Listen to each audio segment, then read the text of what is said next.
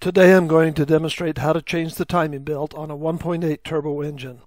This engine is actually out of a 2002 Volkswagen GTI, but is common to other Volkswagens and Audi models. In this case, I have the engine out of the car so you can see the procedure better, but you should be able to change the belt with the engine in the car. The problem I've had in the past is getting the old belt off and the new belt on.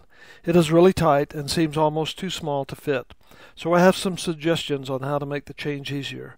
It is recommended when changing the timing belt that you also change the water pump, tensioner, and idler pulley at the same time. You can buy everything in a kit.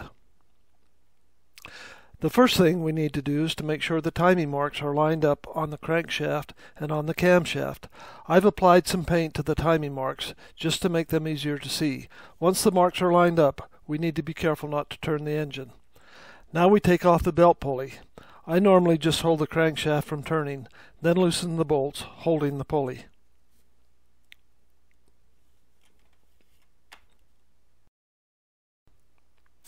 Finish taking off the bolts, and the pulley will come right off. Next we take off the cover.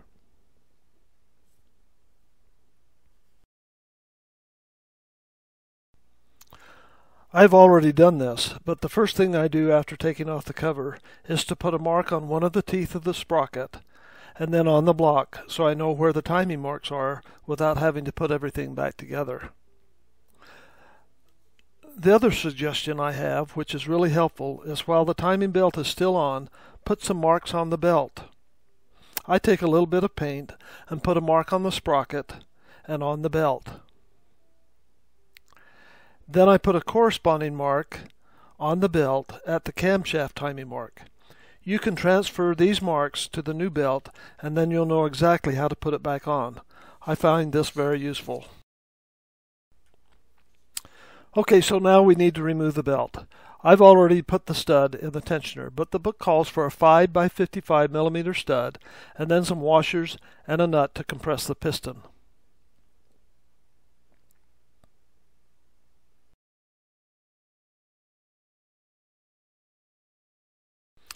The idea is to compress the piston and then put a pin in this hole to hold the piston compressed.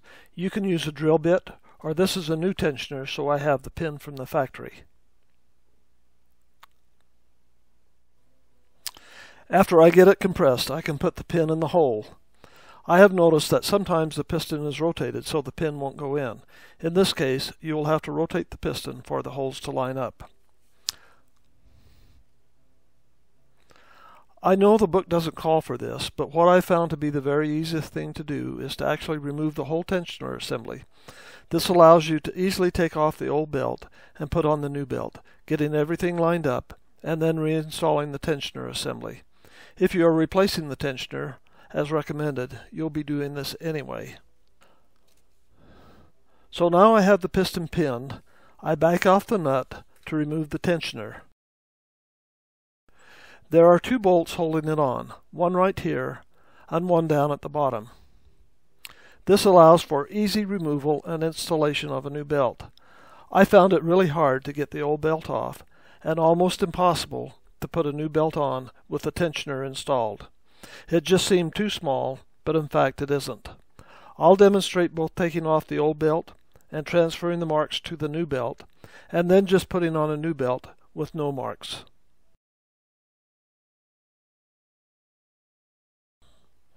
So I need to back off the nut a little bit more to remove the tensioner. This allows the pulley to swing down and loosens the belt quite a bit.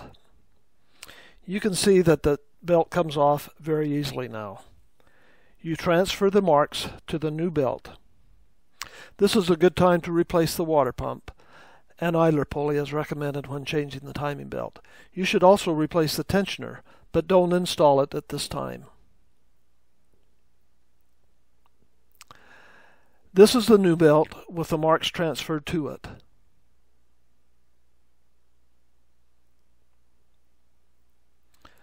Put it around the lower sprocket and line up the marks.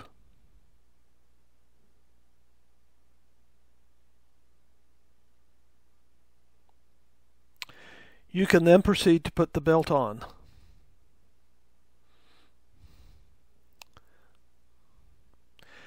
You will notice that you can't quite stretch the belt enough to line up the mark at the camshaft. So the thing to do is to back off the crankshaft a little bit to get the belt at the right mark at the camshaft, and then finish putting on the belt. Now return the crankshaft to the timing mark, which will tension the right side of the belt. If you turn the crank any more, it would start turning the camshaft. You can then proceed to put the tensioner back on. But let me back up and demonstrate putting on a belt with no marks. So we proceed to take off this belt and start with a whole new belt with no marks on it. The timing marks are still lined up, which is extremely important. Put the belt around the lower sprocket.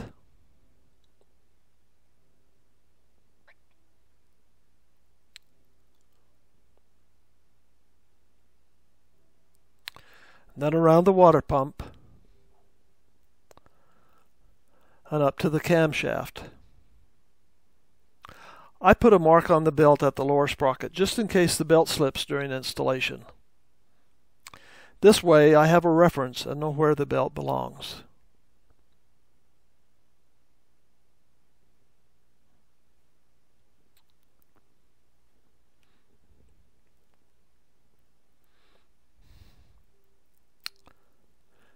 Just like before, you can't quite stretch the belt, so you back off the crankshaft a little bit and get the belt set. And then go forward and see that the belt is now tensioned on the right side. If you turn it any more, it would start turning the camshaft. I'm actually having a little trouble with the belt slipping, so I'm having to redo this a couple of times. This is why it pays to have the mark on the belt.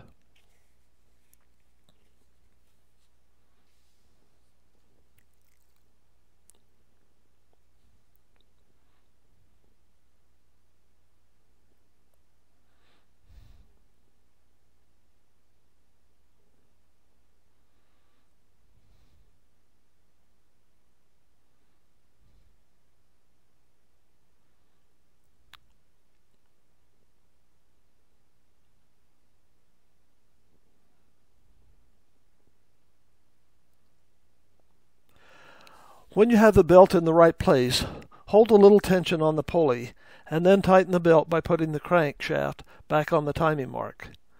Now you see that the belt is on the right hand side is tensioned and it's exactly in the right place. So now put a mark on the belt adjacent to the camshaft timing mark.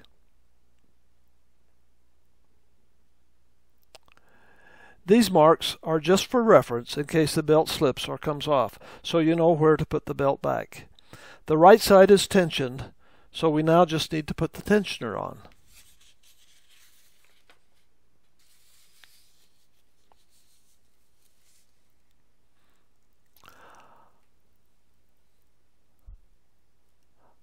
I found it easiest to tie up the idler pulley with a piece of wire.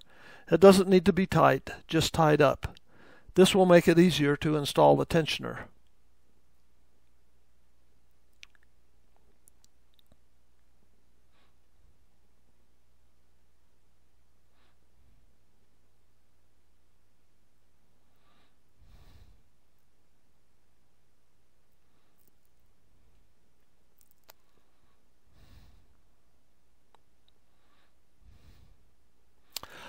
I also found it easiest when installing the tensioner to put the bottom bolt in first.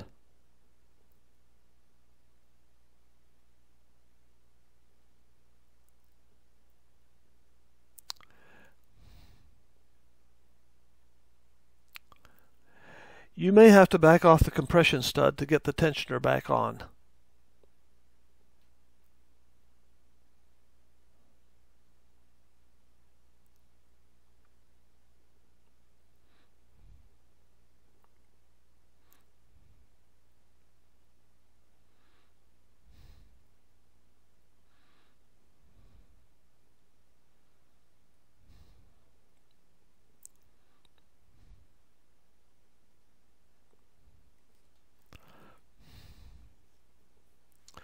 Once you have the bottom bolt started, then you can start the other bolt.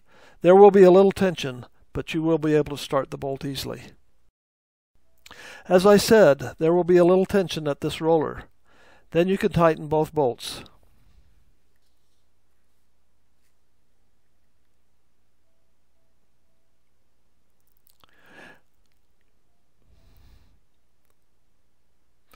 You can now remove the wire holding up the idler pulley. Adjust the compression stud.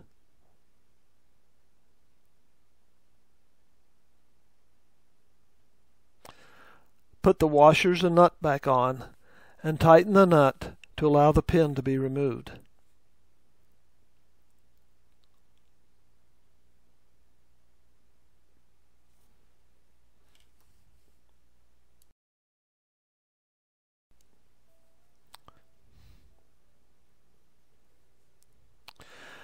Now that the pin is out, back off the nut.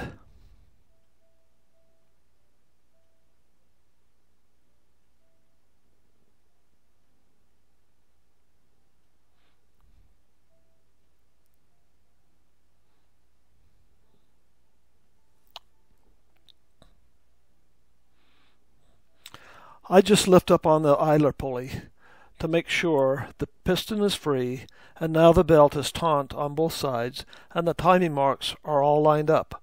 I notice this mark is backed off just a little bit and so I'll just make it right.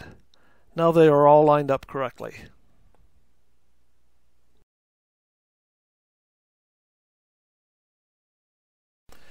You can now take out the stud and with everything set correctly, it is time to put the cover back on.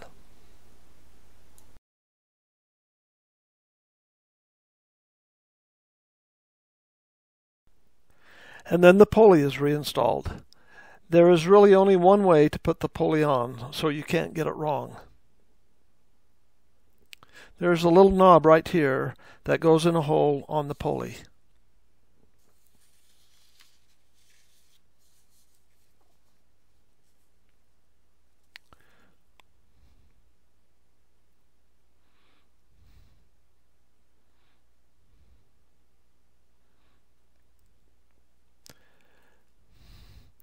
You may want to hold the crankshaft so it doesn't turn as you tighten the bolts holding the pulley. Check that the timing marks are all lined up at both the crankshaft and the camshaft. The next procedure calls for the crank to be rotated clockwise two turns. Following the turns, again check that the timing marks are still all lined up. The marks we put on the belt are just for initial installation. Once the engine is turned, the marks on the belt will no longer line up, but that's okay. It is the timing marks that are important.